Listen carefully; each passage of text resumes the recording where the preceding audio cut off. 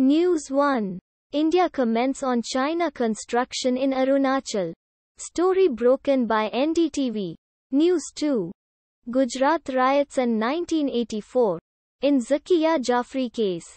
Kapil Sibal draws parallel. News 3. Kasganj case. Post-mortem report confirms hanging as cause of death. News 4. Kangana Ranaut reacts to uproar over her India got freedom in 2014 comment. Varun Gandhi's tweet.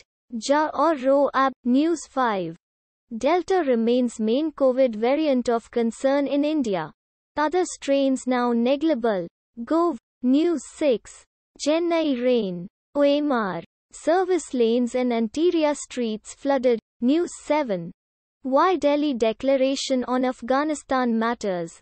It has a Pakistan connection. News 8. Gehlot calls on Sonia to discuss cabinet reshuffle in Rajasthan, automatically generated.